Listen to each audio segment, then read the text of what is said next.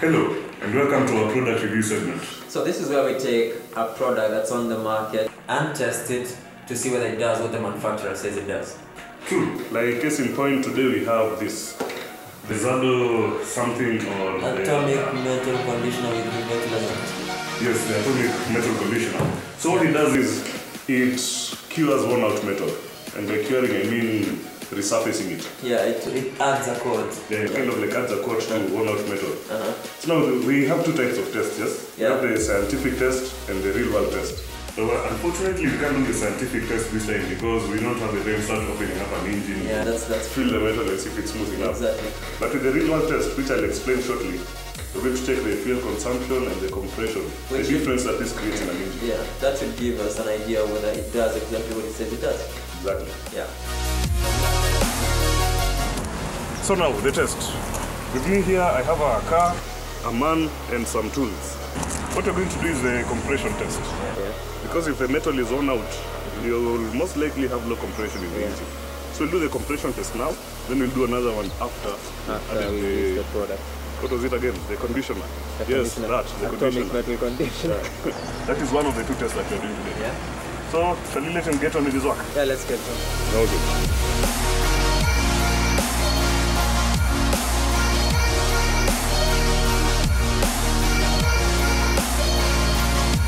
What did we get?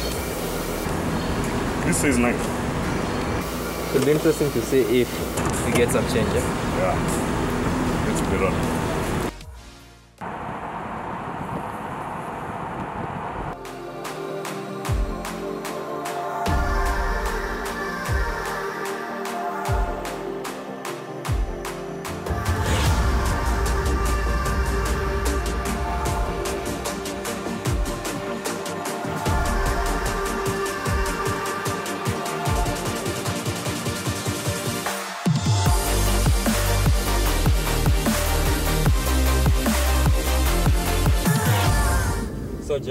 Yeah.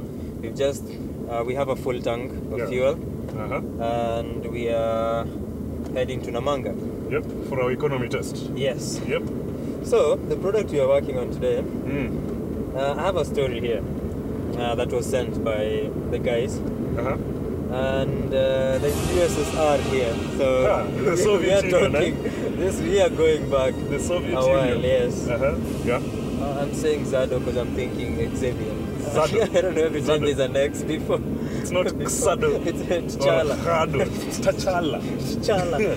Vibranium. Yeah, vibranium, man. That thing. Uh-huh. As you, maybe this is like vibranium. It, it sounds. It sounds. It sounds like it's, it's some, some, yeah, something. Some kind of something special. Yeah.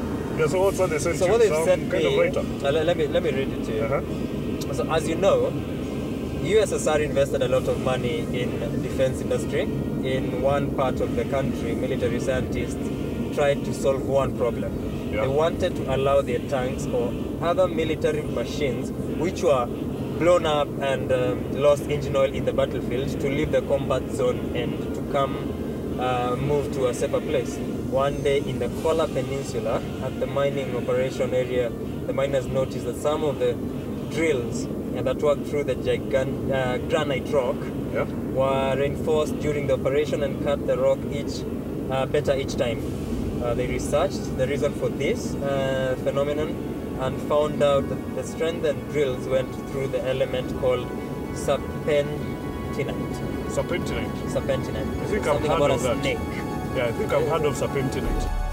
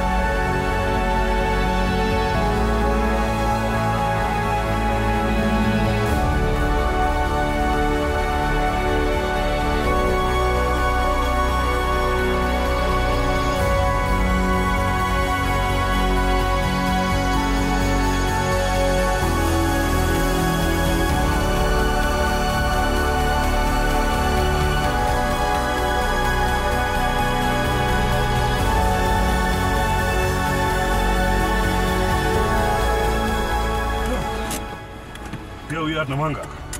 Yep. Would you like to drive back? Sure.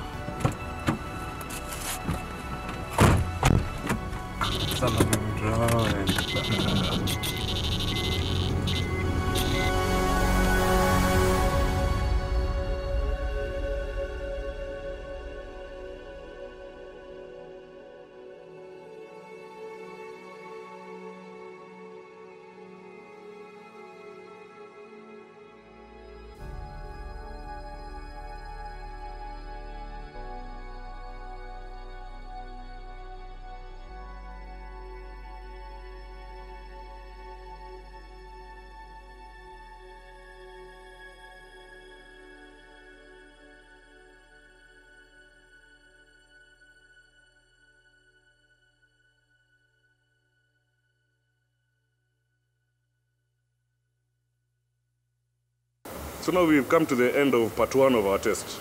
So we've done the compression test. We got it was a 9 point something. Eight, nine, yeah. Yeah, around 8.9, Thereabouts, 8.9, yeah. around 9. Then we've also done our fuel economy test and because a bit thirsty, yeah? Yeah, yeah, it's um, 8.7. the 90s. The 90s were good times. Yeah, it came to 8.7. yeah.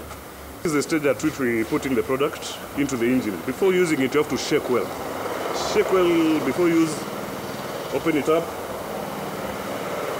Pour it into the engine. Yeah, so now after you do this, you're not exactly ready to go. You first have to kind of run the engine in. You have Yeah, to you get have it to mixing in. with the oil. You have to give it time to work. Yeah, 200 kilometers should do it. Yeah, yeah. Should They, enough. they give a recommendation of 200 to 300 kilometers. Yeah. Yeah, so what we're going to do is we'll wrap up for today. We'll run the car round in and then we'll see you on the second part of our test.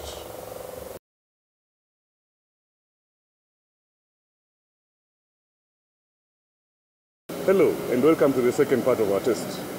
So we've done about uh, 300 kilometers. Yes, about 300. Yeah, so the product should be all good in the engine, all uh, circulated in all parts of the Running around nicely in the engine. Yeah. So what are we doing today? Today we are repeating the same test that we did in part one. The difference is we have the product in the engine. So we'll do the compression test and the fuel economy run. Uh, let's see what figures we get. Sure.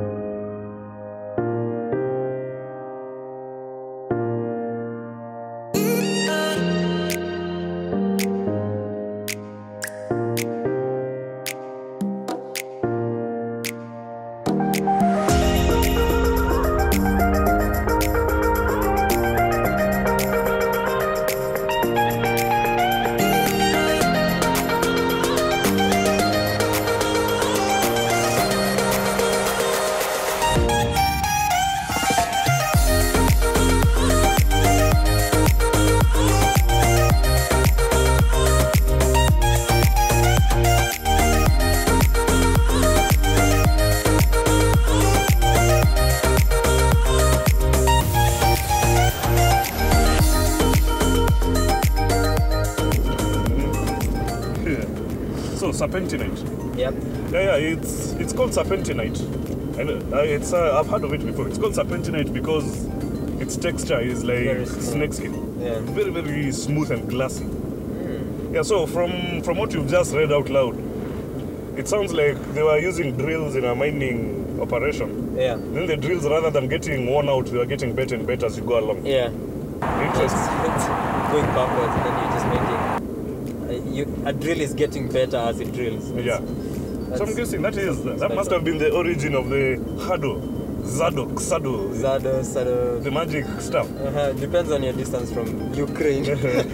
oh yeah, it is um, on that side of Eastern Eastern Europe. Eastern Europe, yeah. Yeah. The USSR, Yeah. the Soviet Union. Oh, hmm, that's interesting. So someone Yeah. found out the found the serpentinite and That decided to uh, it. it used friction energy to Uh-huh. reinforce the drill.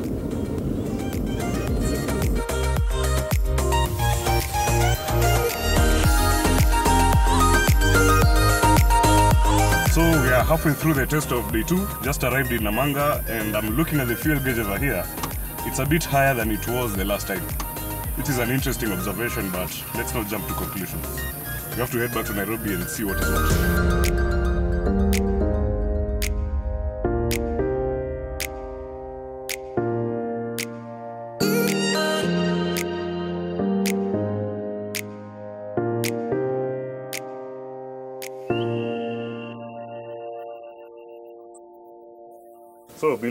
Yes. We have come to the end of the test. And we've got a compression of uh, 10 Yeah, now. 10.